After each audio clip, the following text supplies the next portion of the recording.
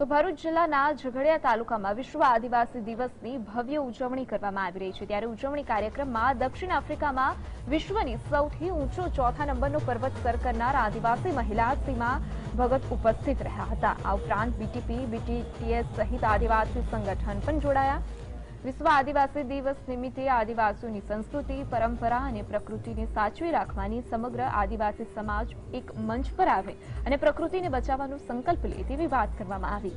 તો શિડ્યુલ પંચ અને શિડ્યુલ છ નો સંપૂર્ણપણે અમલ થાય તેવા સહિયારા પ્રયાસ ધરવામાં આવે તેવું આહવાન કરવામાં આવ્યું હતું.